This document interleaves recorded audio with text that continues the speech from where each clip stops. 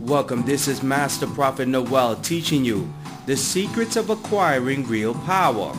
In this course, you will learn the universal truth about the many methods, the formulas, the rituals you must learn before you are graced with power. We will continue with today's teaching, the secret of acquiring real power. We'll be right back with today's teaching.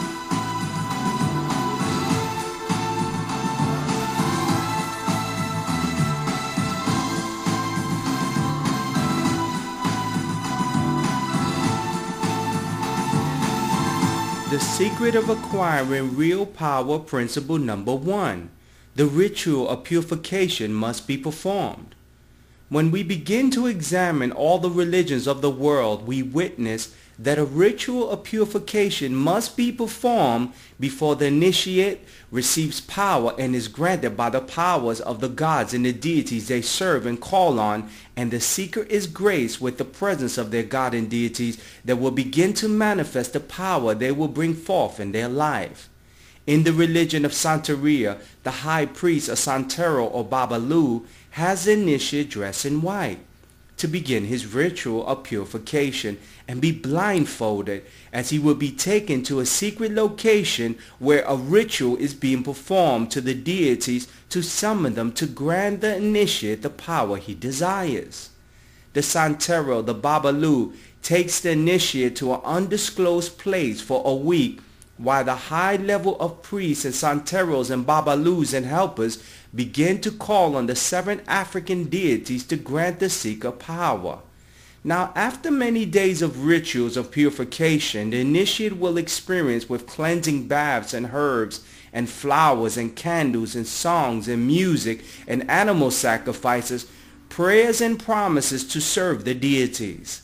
After the completion of the ritual purification, the initiate has washed away his sins and previous life and is reborn. The Santero or the Babalu will place his hands on the initiate as he calls on his gods and deities to grant the seeker power. The seeker must then wait for the sign that the gods and deities have accepted him or her and will receive a mystical sign that he or she has power. As we begin to examine the religion of Christianity, you will witness that Jesus Christ walked the earth demonstrating no spiritual power until he accepted the ritual of purification. As Jesus Christ went into the John the Baptist and fulfilled the ritual purification, John the Baptist laid his hands on him with prayers to summon his God. Jesus Christ was then dunked into the Jordan River which was very salty to purify him. Now John the Baptist understood the ritual of purification would only be completed when the initiate experiences a mystical sign that will grant him the power he desires. In Matthew chapter 3 verse 16, as soon as Jesus was baptized, he went up out of the water. At that moment, heaven opened, and he saw the Spirit of God descending like him like a dove and a lightning on him a ritual purification must be performed to grant you now power. Let's join the live conference where I'm teaching this course. Welcome in to the live conference. Christ operated in no spiritual powers until he completed the ritual of purification and received the mystical sign. What's your thoughts on that? Um, Master Prophet, uh, purification is always step one. Yes. Um, we're to present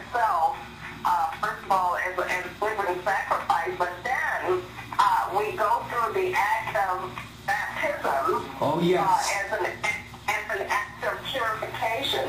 So uh, uh, Jesus uh, knew this, and uh, he was able to uh, demonstrate this uh, for us. Oh, yes. And you know, we, today we're going to be talking about the secrets of acquiring real power. People, I want to let you know that before you acquire, before you begin to manifest true power in your life, you must go through the ritual of purification. And if you look at all the world religions, if it be Christianity, Santeria, Hinduism, whatever religion you begin to look at, there's a situation where they teach the ritual of purification. Some people call it baptism. Some people call it dunking your old self and renewing your new self, I call it the ritual of purification.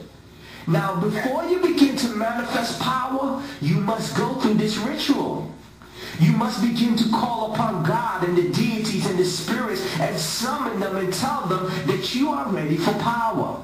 Now, Mrs. Williams, are you on the line? Yes, I am. Good evening. Good evening. The ritual of purification is necessary before the gods and deities grant you power is because you are physically demonstrating to them that you are now ready to serve mankind. What's your thoughts on that?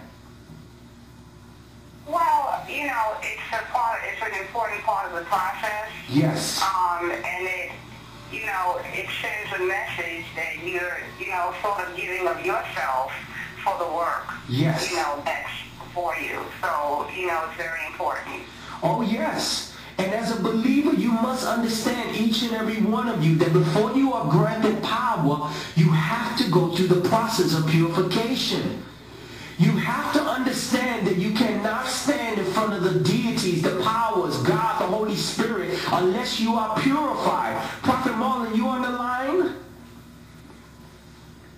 Yes, Master Prophet. You cannot stand in front of the powers, the deity, the angels, God the Father, the spirits, unless you are purified. Because if you stand in front of God and you are unholy, you will drop dead in his presence because God is a God of pure. And those that are not pure will be tied down with their ankle and they will be pushed out What's your thoughts on that?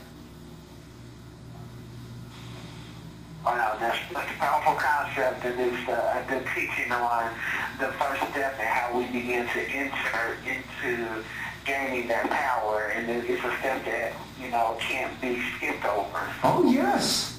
And let me say it again. Mrs. Cross, you on the line? Yes, I'm here. Read the book of Leviticus and read the book of Deuteronomy. And if you came into the temple of God and you were living a life of sin, if you had sin on you, I guarantee you that you better hope that they had a rope around your leg because you would drop dead in the presence of God and they would have to pull you out of the temple. What's your thoughts?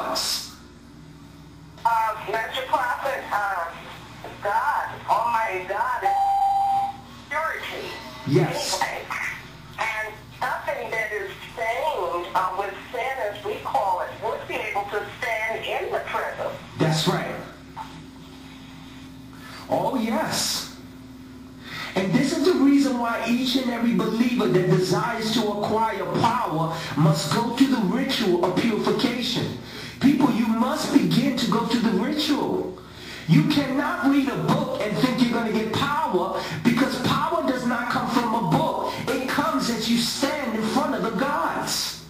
If you look at the Egyptian religion and you look at the ancient Greeks and all these other religions, they did not receive power by a certain prayer that they would say.